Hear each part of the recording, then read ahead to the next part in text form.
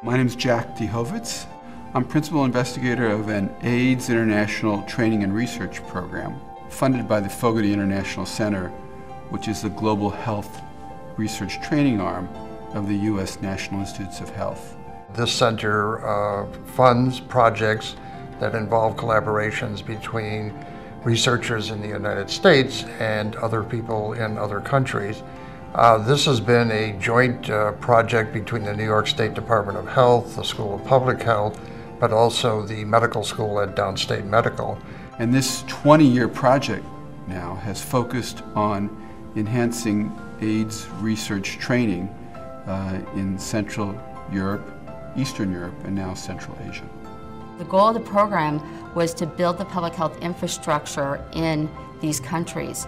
And so physicians came to our country through the Fogarty program and trained in public health um, disciplines with the goal of going back and both solidifying the institutions there and rebuilding the capacity of public health, and then hopefully subsequently taking over the education we're providing in country.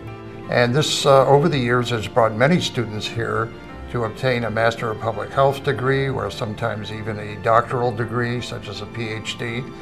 And I think the most gratifying part of this is that uh, how many of these people have gone back to their countries, have helped build capacity, and in fact have formed new schools of public health in places like the Republic of Georgia.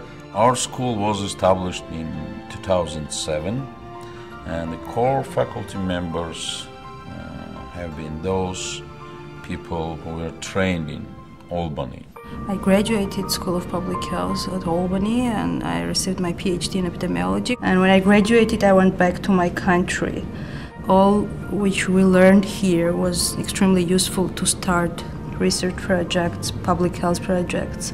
It was really very important for my country. I did my master's degree in biostatistics at Albany School of Public Health.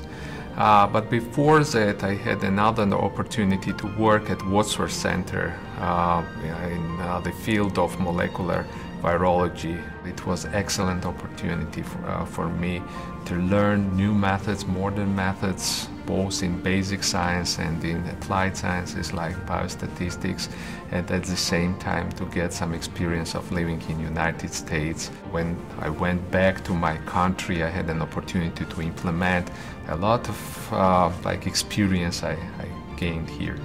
What we had hoped would happen 15 years ago has actually materialized and has become very successful. This partnership helped us very much to, to build capacity in Georgia so that people trained here became teachers and we started uh, training uh, the, the, new professionals on our own. Our project with the School of Public Health in Georgia was really successful. So now a new generation of students are coming. So we are mentoring them and we are teaching them the, uh, through the same model which we uh, saw here in uh, the School of Public Health. It's a great feeling. Physicians that were once my students are now my colleagues and it was a, a, an amazing opportunity to see this transition. One of the unique aspects of this program has been the joint SUNY-SUNY collaboration. Clearly, we're very strong in the population sciences. The people at Downstate are very strong when it comes to clinical medicine and the clinical sciences. And our partners at the health department, of course, are used to running large programs. And when you combine those three together, that's a very powerful set of tools that can be brought to address a particular issue. And I think this is simply an example of how collaboration across the system helps everyone. Training at this university does not stop when you graduate. It becomes partnership, collaboration, and friendship. I never thought that when I met these students years ago that we would be lifelong friends. I think this particular program is one of the better programs, and we would welcome other such opportunities. What we learned from the original Fogarty grant working in Central and Eastern Europe, we've now been able to translate to other collaboratives in Asia, and Africa, and the Caribbean, and in other parts of the world. And by doing this and by sharing scientific knowledge, I think we create a better public health network on a global basis.